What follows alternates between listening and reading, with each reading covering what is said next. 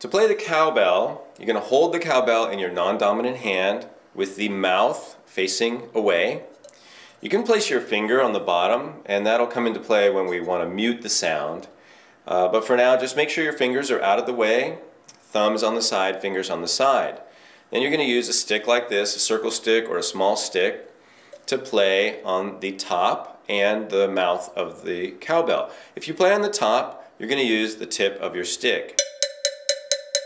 Just tap gently on the top of the cowbell. To play on the mouth, use the shoulder or the edge of the stick to play on the mouth of the bell.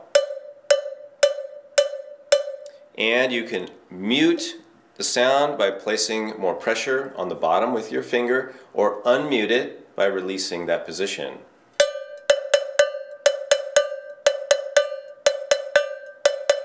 You can play different patterns with different notes by playing on the, the closed end, alternating that with the mouth.